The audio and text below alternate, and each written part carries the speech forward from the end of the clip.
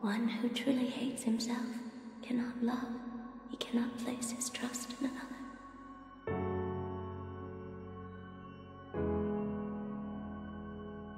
This is all wrong. I came all this way.